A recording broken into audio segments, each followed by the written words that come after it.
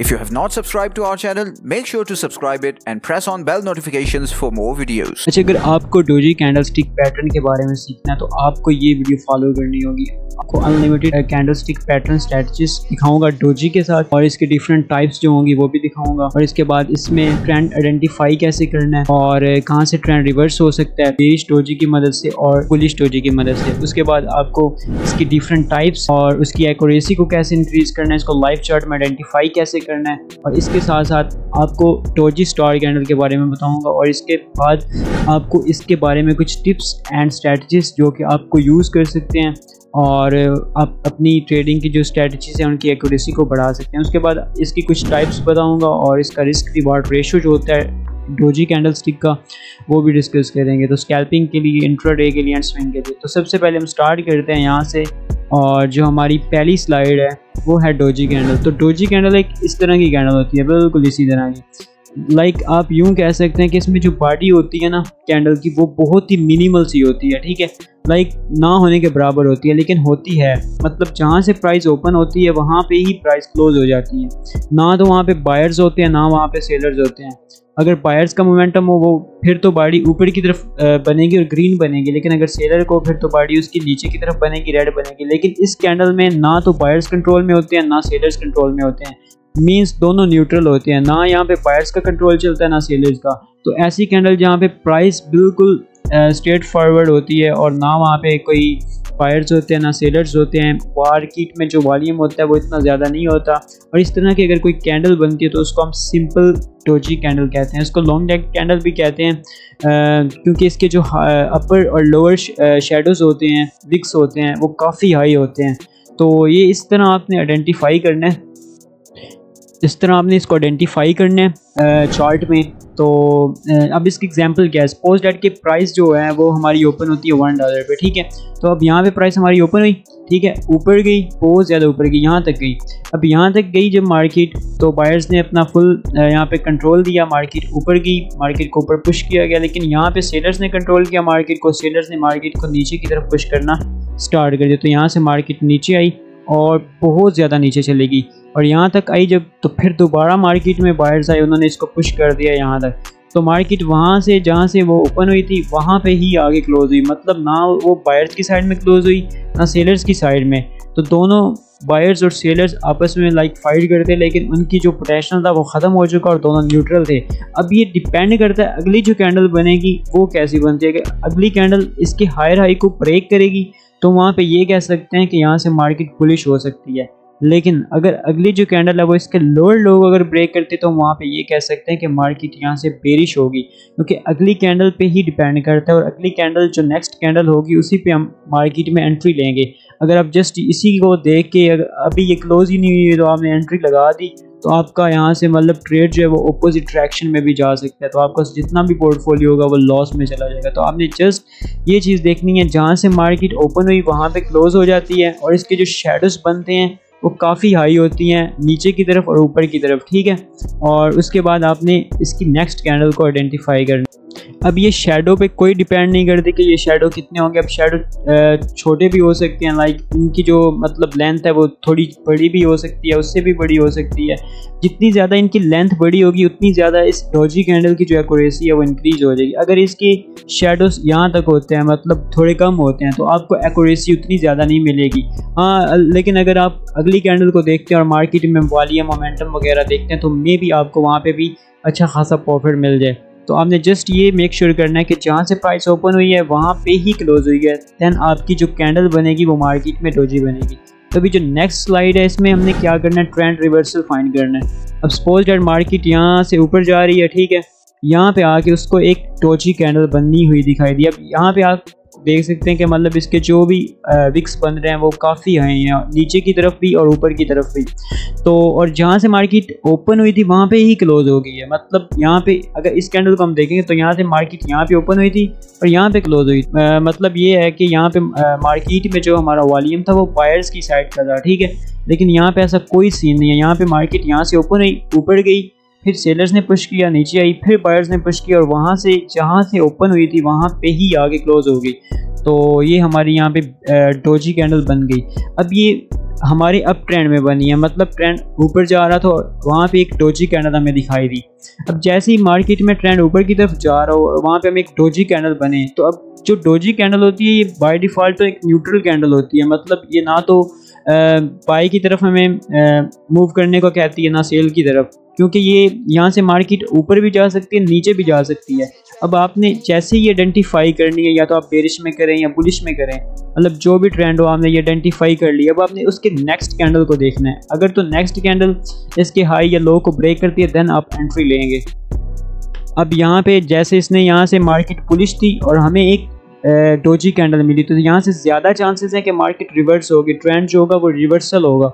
तो मार्केट ऊपर गई और यहाँ पे हमें डोजी मिली, उसके साथ हमें एक और कैंडल मिली। अब हम इस कैंडल के क्लोज होने का वेट करेंगे देन इस कैंडल के क्लोज होने का वेट करेंगे इस कैंडल का।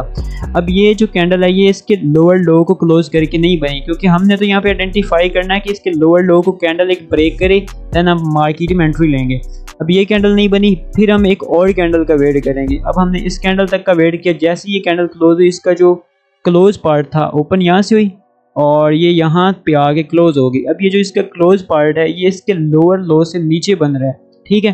तो यहाँ पे हमें ये दिखा रहा है कि यहाँ पे सेलर्स जो हैं वो मार्केट में आ चुके हैं और मार्केट जो है वो अब नीचे मूव करेगी।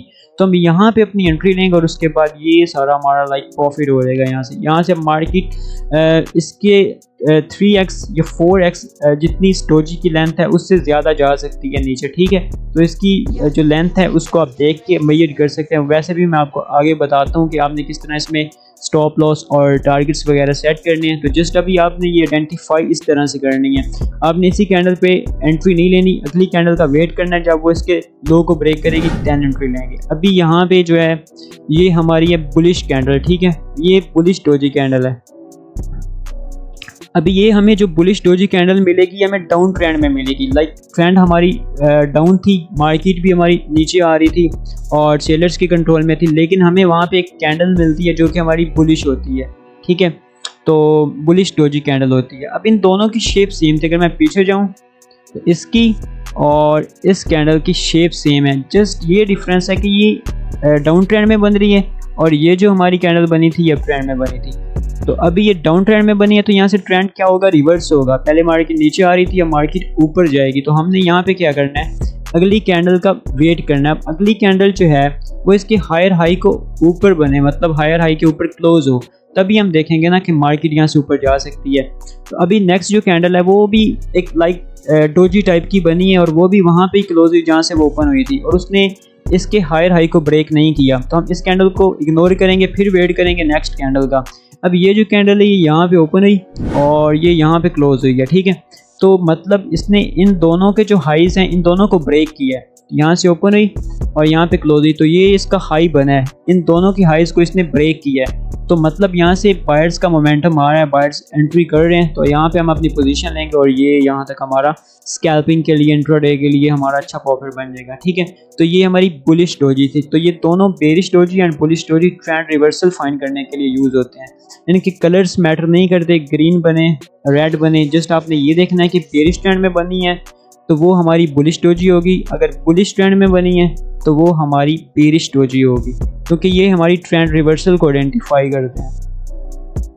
अब हमारी एक और डोजी आती है जो कि डबल डोजी होती है। उसमें जस्ट ये सिंपल सी एक बात है कि आपको अगर दो डोजी इकट्ठे मिल जाएँ तो उसे डबल डोजी कहते हैं। अब आपने उन दोनों डोजी के बाद जो नेक्स्ट कैंडल बनेगी, आपने उसका वेट करना। अगर मार्केट ऊपर गई हुई है लाइक अप ट्रेंड में तो वहाँ पे आपको ये दो कैंडल्स मिलती हैं तो आपने उसके लोअर लो के ब्रेक होने का वेट करना है। अब नेक्स्ट कैंडल इसके लोअर लो को ब्रेक करके बनी है यहाँ पे, इसने भी ब्रेक किया तो हम यहाँ से एंट्री ले सकते हैं और ये मार्केट हमारी नीचे चली जाएगी।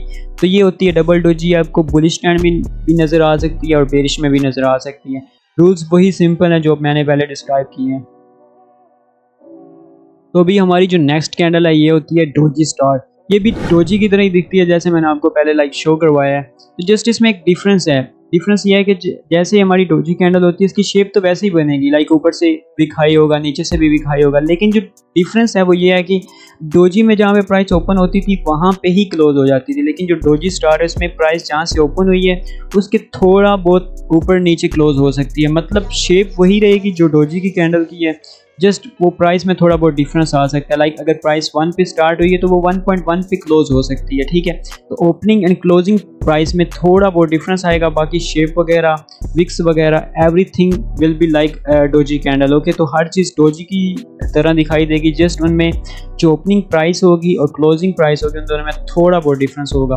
तो उसके बाद ये कुछ अदर स्ट्रेटजीज हैं जो कि हम अप्लाई कर सकते हैं लाइक डोजी कैनल के साथ जिससे हमारी जो ट्रेड्स की एकोरेसी है वो 90 से 100 परसेंट हो सकती है, ठीक है?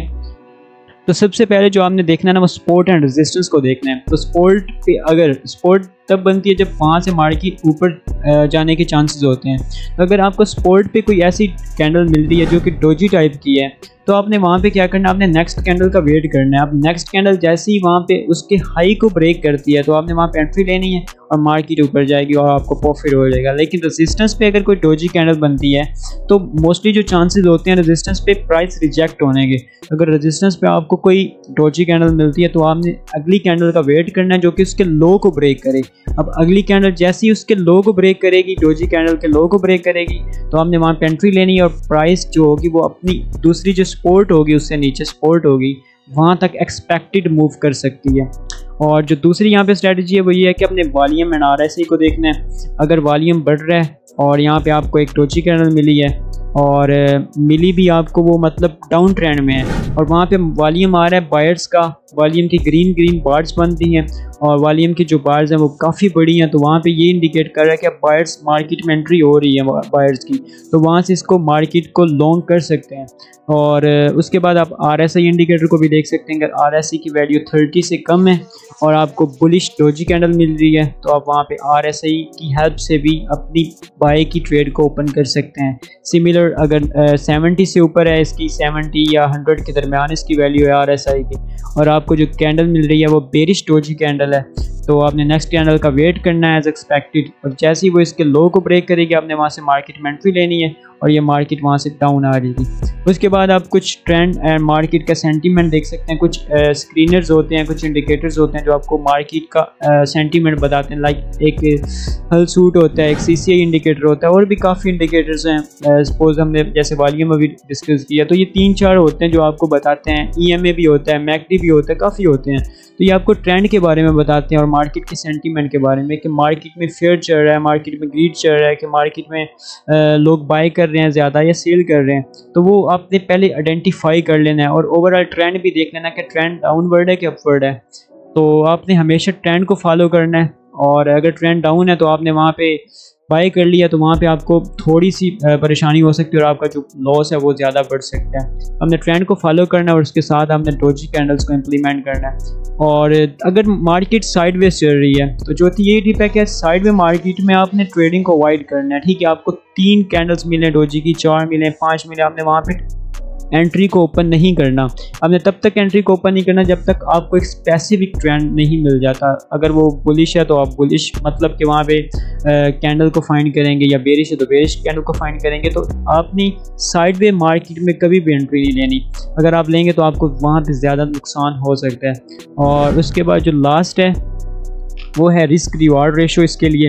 तो स्कैल्पिंग करनी है शॉर्ट मूव्स पकड़ने हैं मतलब पाँच मिनट्स के लिए, पंद्रह मिनट्स के लिए, एक घंटे के लिए तो आप उसके लिए स्कैल्पिंग आप कर सकते हैं इस डोजी कैंडल की हेल्प से। और उसके लिए जो रेशो होगी, वो वन रेशो टू होगी। मतलब आपका जो प्रॉफिट होगा वो आपके स्टॉप लॉस से दो गुना ज़्यादा होगा। इंट्रा डे के लिए आप वन रेशो थ्री यूज़ कर सकते हैं स्विंग के लिए वन रेशो फोर भी यूज़ कर सकते हैं। तो इंट्राडे और स्विंग के लिए आप ज़्यादा रेशो यूज़ कर सकते हैं स्कैल्पिंग के लिए थोड़ी कम यूज़ कर सकते हैं। आगे ये कुछ टाइप्स हैं डोजी कैंडल की। दरमियान वाला जो है, ये तो मैंने अभी डिस्कस कर लिया है लॉन्ग लेज जो डोजी है, जिसको सिंपल डोजी भी कहते हैं। और इसको हम डोजी स्टार भी कहते हैं, अगर थोड़ा सा प्राइस के दरमियान डिफरेंस हो ओपन और क्लोज प्राइस के दरमियान। तो ये भी हमने डिस्कस कर लिया बाकी जो gravestone doji and dragonfly है, ये नेक्स्ट वीडियो में बता दूँगा।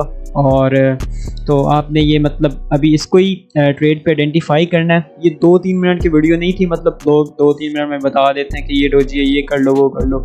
तो इसके ऊपर चार चार, पाँच पाँच घंटे की स्ट्रेटजीज बन सकती है, अगर मैं बनाना चाहूँ। इसमें इतनी स्ट्रेटजीज बन सकती हैं, अगर आप इसी पे काम करना स्टार्ट कर दें तो आपको अनलिमिटेड डेली ट्रेड्स मिल सकती हैं स्कैल्पिंग के लिए इंट्राडे के लिए। ठीक है? तो ये कैंडल भी आपकी पूरी लाइफ चेंज कर सकती है जो डोजी कैंडल है। बाकी इसकी जो टाइप्स हैं मैं नेक्स्ट वीडियो में आपको बता दूँगा। Thanks for watching. If you have not subscribed to our channel, make sure to subscribe it and press on bell notifications for more videos.